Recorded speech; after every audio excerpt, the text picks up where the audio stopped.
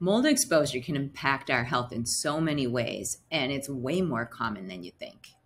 Even in dry climates, sometimes the construction is poor and you can still have water intrusion into a building or, a, a not aerated crawl space or, uh, you know, faulty plumbing that can create water damage. And mold will grow whenever there is water damage and will also grow naturally when there's, you're in a very damp and wet environment. So, so yes, mold is very, very common and it can affect people in many different ways. One, people can be allergic to mold. And that's where you mount an allergic reaction. And that often takes place in like the eyes being red, the lungs being congested, the kind of nose and sinus being congested, typical allergy symptoms. And that can be very annoying and difficult. But mold can also colonize in the body and create problems related to that. Can colonize in the sinuses, rarely in the lungs, sometimes in the intestinal tract, sometimes even on the skin. And that can create issues related to it growing there. And then thirdly, mold produces mycotoxins. And mycotoxins are mitochondrial poisons. And so if you have colonization in your body, you can have mycotoxins being elaborated into your system and create issues like fatigue and slow down metabolism, brain fog, etc. So, what can you do about it? Thankfully, a lot. Um, mold can be first of all, you've got to identify whether you're currently being exposed to mold or not. And if you are, you need to remove yourself from that environment or remediate that environment as quickly as possible. So you remove yourself from the source of exposure. Secondly, you need to figure out have you colonized in your body? And it's hard to tell sometimes, but you can do sinus swabs, culture those for mold, figure out if there's mold growing there, um, then treat mold systemically and locally. So oftentimes I'll use Argentyn 23 spray, which is a colloidal silver spray, which has been shown to kill fungus as well as break down biofilms. And you can spray it in the nose and, and, and actually treat the sinuses that way. Sometimes I'll, I'll prescribe um, topical antifungal sprays that you can put in a sinus nebulizer. Um, that can be helpful. Sometimes I will use systemic antifungals. And I would say oftentimes, whether they're pharmaceutical or herbal, you want to kill mold kind of systemically, including in the intestinal tract. And then thirdly, you want to detox mycotoxins. So orally, you can work with sublingual glutathione and binding agents.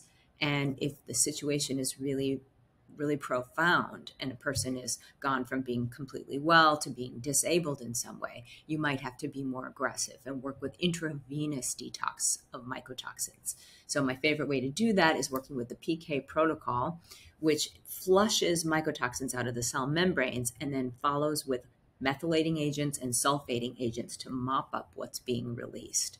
And of course, I combine that with gut binders so that what is being released through the liver through the biliary tract into the intestinal tract is bound up when it gets there. So it's whisked out of the body instead of getting reabsorbed.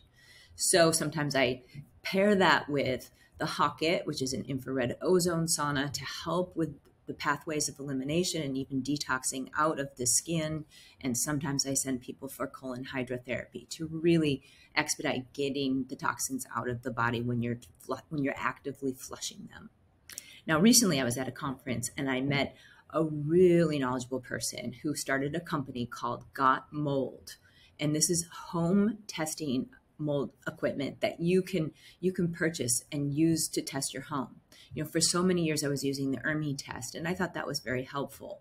Um, having people go to Mycometrics and pick up the ERMI test and test their own home.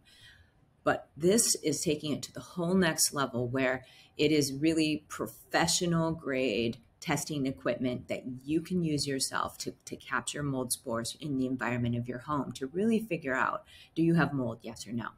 And this person that I was speaking with taught me something I didn't know. He said, in addition to mycotoxins being a poison that can affect you, mold produces uh, like volatile compounds, like organic compounds that that you breathe in that can affect you like like gases.